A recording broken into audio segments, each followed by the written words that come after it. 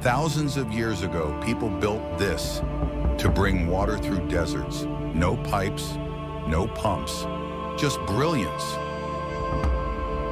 This is a qanat, an ancient Iranian water system. It tapped into mountain water and used gravity to flow it underground for miles. The Romans? They went above ground.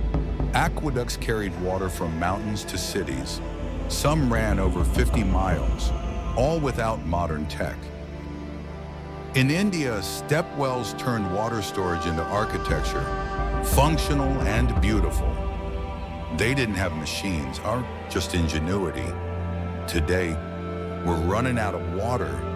Maybe it's time we learn from the past. Don't waste water. Save water. Don't forget to like and subscribe to my channel Depth Doc 7 for more amazing facts.